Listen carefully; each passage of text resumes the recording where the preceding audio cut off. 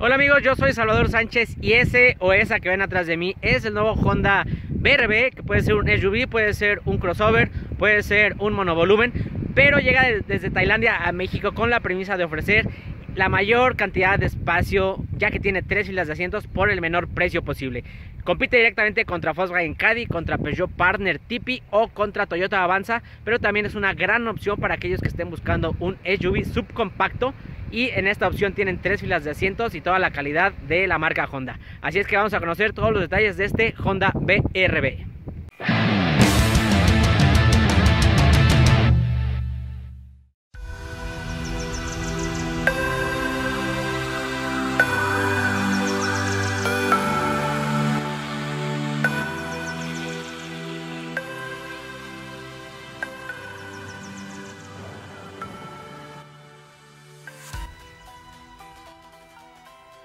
Pues aquí lo tienen, este es el Honda BRB, este nuevo producto de la marca japonesa que llega desde Tailandia y se puede ver desde algunos ángulos que si Honda CRB hubiera tenido una noche loca con algún vehículo desconocido, pues tal vez resultaría en este producto que tiene una parrilla de gran tamaño con cromo, un logotipo de Honda también muy grande y la parte lateral eh, vemos que eh, ve más hacia ofrecer un mayor espacio interior y una mayor comodidad para los pasajeros en lugar de tener un diseño un poquito más llamativo o eh, no sé no me encanta mucho la parte lateral de Honda BRB sin embargo tiene aquí rines de 16 pulgadas de aluminio de dos tonos tiene también las, los pasos de rueda y los, las partes más bajas de, de la carrocería con plásticos negros.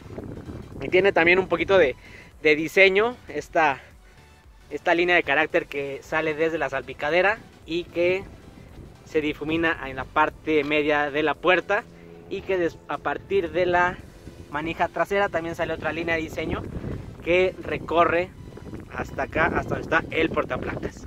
La parte trasera también ve más hacia eh, la visibilidad exterior, hacia tener un ambiente interior con más, con más luz y las calaveras son parece ser una sola calavera ya que están eh, unidas por esta parte de en medio de Honda BRB.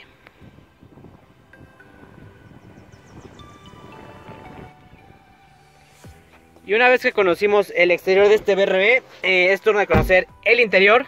Y justo lo mejor de aquí es el espacio que ofrece para 7 pasajeros, ya que tenemos eh, una parte delantera un tanto sencilla, pero agradable en cuanto a diseño, agradable también en cuanto a materiales, a esta combinación. Sabemos que son materiales duros en toda la cabina, lo normal en este segmento. Tenemos el volante forrado en piel, tenemos también la palanca y el freno de mano no está forrado en piel, la palanca sí. Son esos detallitos que sí se agradecen.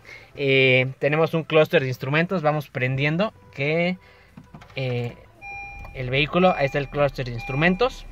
Eh, muy al estilo de lo que vemos en City o en HRB. Y algo muy raro es que se prende de la parte de un botón que está colocado en la parte izquierda del volante, muy al estilo de Porsche o de Mitsubishi Montero. Tenemos aquí controles al volante que parecen los de la televisión de mi casa de hace 20 años, que es de canal, volumen y modo. Este, tenemos dos bolsas de aire solamente, dos bolsas de aire frontales. Ahí es donde es un punto débil de este, de este BRB. Tenemos para desconectar aquí también el control de tracción. Cosa muy buena. Tenemos un aire acondicionado de una zona también muy bien. Y tenemos una pequeña pantalla. La cual eh, no tiene ni el brillo ni el contraste ni eh, que quisiéramos y se ve, está un poquito más pequeña también de lo que aparenta ser.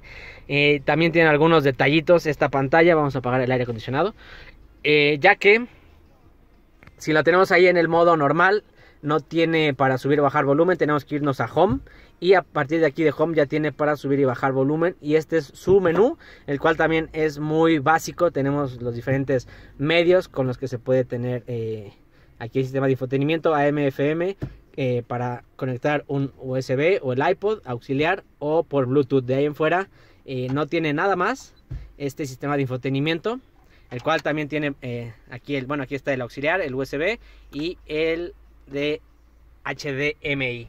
Aquí abajo tenemos una otra salida de corriente de 12 voltios. Tenemos espacios para guardar cosas. Está bien en cuanto a espacios de almacenamiento.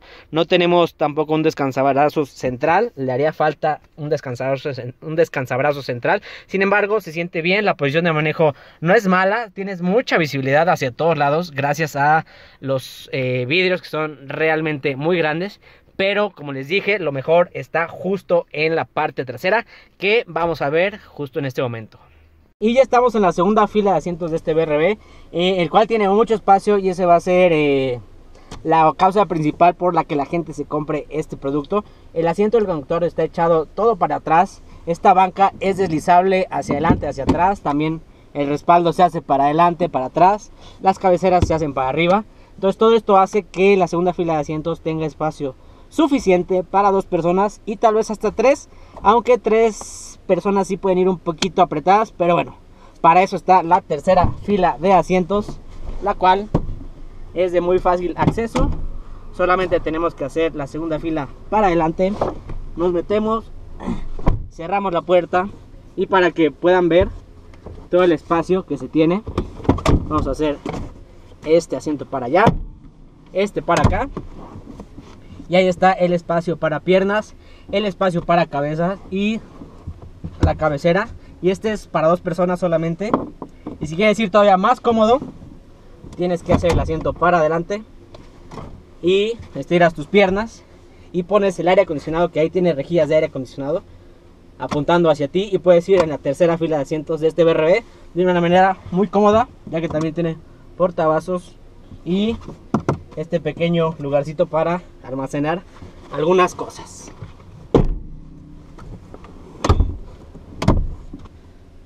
Y ya por último, eh, ¿cómo es el espacio de la cajuela de este Honda BRB?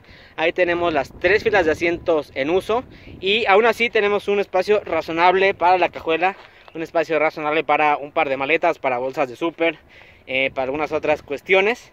Y si queremos y necesitamos más espacio, solamente es cuestión de hacer los asientos, los respaldos para adelante. Y jalamos este cordón. Y la fila se hace para adelante. Y tenemos ahora sí mucho, muchísimo espacio de carga aquí en este Honda BRB si es que la, la tercera fila de asientos no se llegara a utilizar.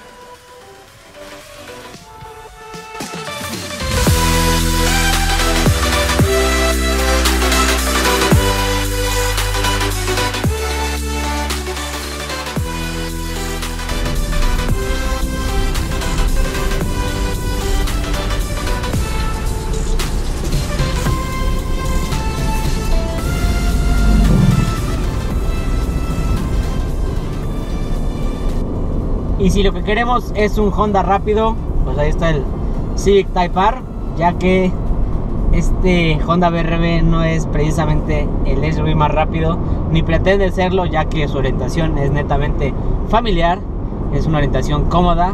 Entonces tiene un motor que comparte con el City, es un 1.5 litros, 4 cilindros, atmosférico con 118 caballos de potencia y 107 libras-pie de torque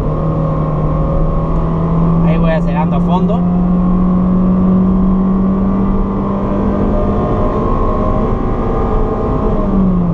No acelera mal, pero teniendo en cuenta que pueden caber hasta 7 personas y equipaje, ya con 7 personas y equipaje tal vez sea un poco más lenta.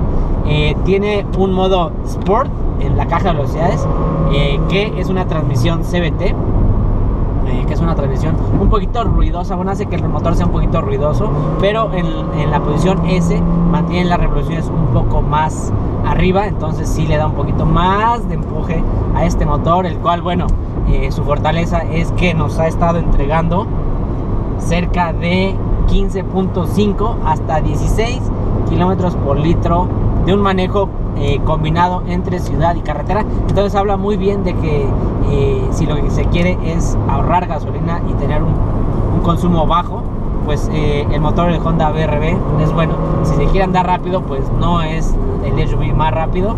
Sin embargo, al final del video, como en la mayoría de los videos, tenemos el top speed de esta camioneta.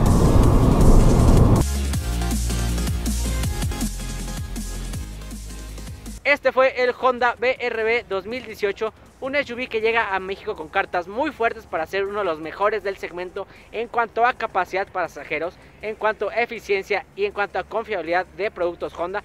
Tal vez tenga algunas áreas de oportunidad en términos de equipamiento, de empuje del motor o tal vez de sistemas de infotenimiento y conectividad, pero sin duda alguna es un producto muy razonable para los que buscan sobre todo espacio interior.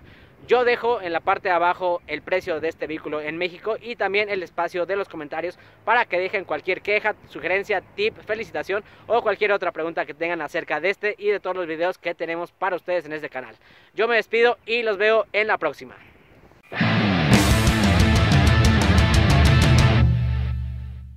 Ahora sí, nos preparamos para el top speed de Honda BRB 3, 2, 1.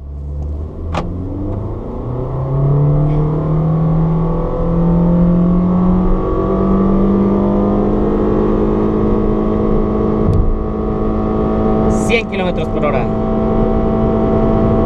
Y mucho ruido del motor. 120. 140.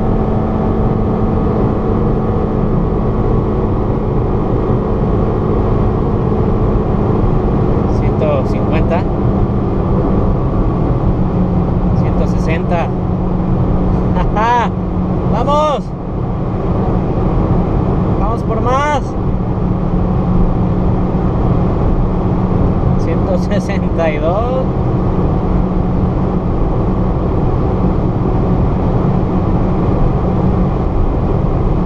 ...170... ...tantito antes de 170 y se murió... ...ahora vamos a frenar...